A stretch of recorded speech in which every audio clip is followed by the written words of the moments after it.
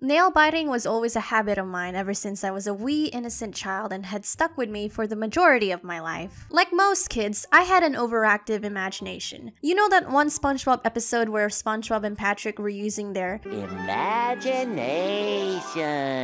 while they were sitting in a cardboard box? Yep, that was me and my brother inside a box, trying to use our imagination.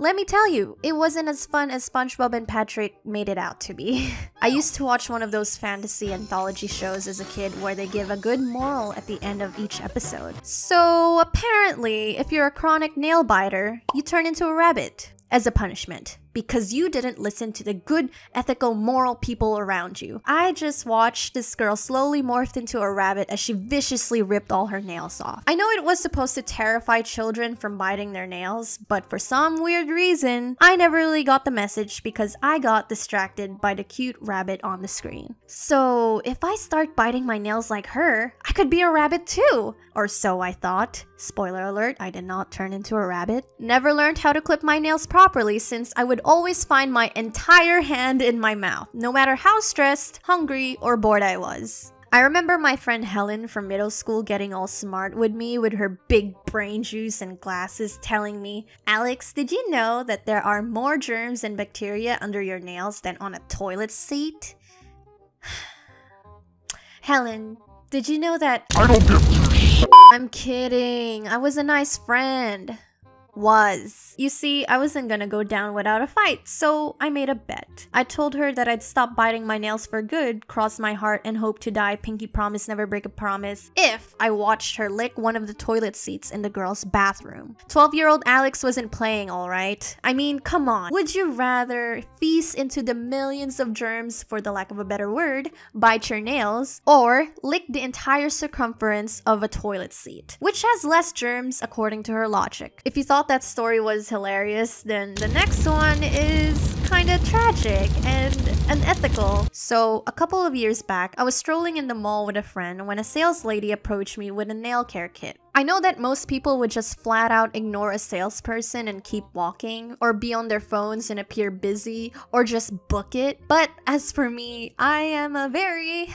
empathetic person. Maybe less now after this experience. Okay, I just feel bad when I have to act like I'm ignoring them. Imagine being in that type of job where you get paid to get rejected and ignored in public. It's a literal nightmare. No one wants to do that. I get secondhand chest pain when I watch a salesperson do their job. Anyway, this sales lady approached me. We made eye contact. She greeted me. I stopped in my footsteps, which I shouldn't have done, and reciprocated the greeting. Rule number one do not stop. Keep walking, stupid. Before I could do anything else, she grabbed my hand and started to buff my nails and tell me all about how her product is out of this world and that I'll never have to break a nail again, or even better, go to a nail salon, which I never really went to in the first place. This lady was trying so hard to sell this product to me because I remember she was trying to be all relatable, saying things like, oh my gosh, since you draw a lot, I bet you break your nails every so often since, you know, you use your hands for drawing and typing and all that sort of stuff.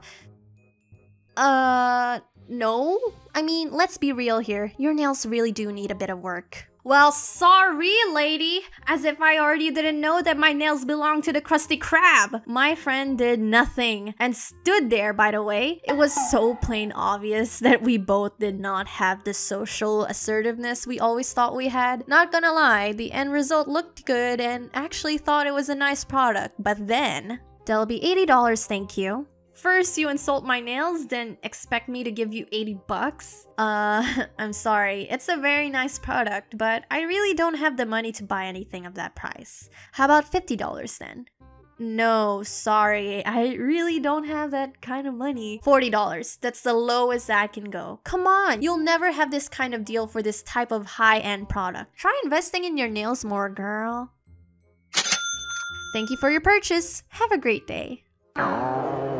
Despite being all salty for my spinelessness, I used my purchase and got a huge surprise. The glossy coating from the nail buffer acted as a titanium shield for my nails, so it was impossible to bite them off or else I'd break a tooth or something. I went from nail buffing to acrylic nails to gel nails. Never had I once felt the need to flaunt my nails before since I couldn't flaunt them when they were crusty and chipped, but now I can. Boom!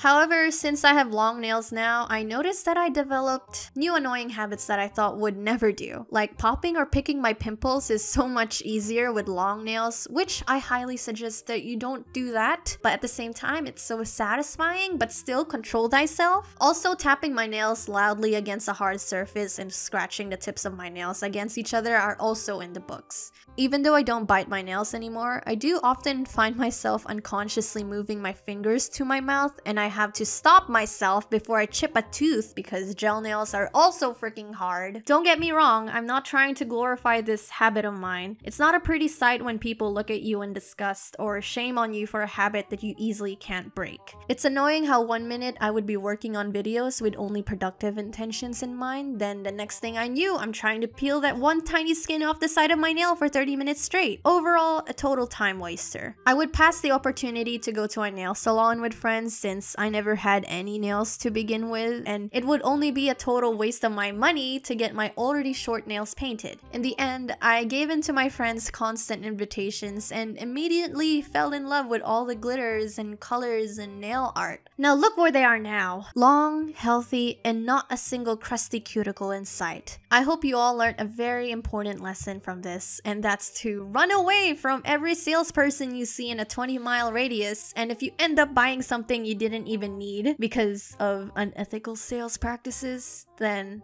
high five, cause same. Just watch the nails though, cause they're drying. Yo, yo, yo, how's everyone doing in this quarantine? I hope you're staying at home watching my videos. I'm joking. Just want to say, don't high five each other because of what's currently going on around the world. I was only just thinking to myself, like, what if I still bite my nails? I would have been totally screwed by now, not gonna lie. Bad time to be a chronic nail biter, come to think of it. Anyway, we got some new merch designs at my shop in crowdmade.com. I put a lot of effort into these designs, so I hope you like them. You can click the link in the description below to get yourself some sweet sweaters, shirts, and mugs. Uh, yeah, I think that's it. Thank you for all the fan art. Uh, thank you so much for 500k as well. Yeah, um, I hit that like two months ago, but I haven't really gotten to say thank you audibly in a voice recording. I very much appreciate that. Yeah. So stay safe and healthy, wash your hands. I love you and goodbye and see you in the next video, hopefully next month. Hopefully. Definitely. Alright, bye. Mwah.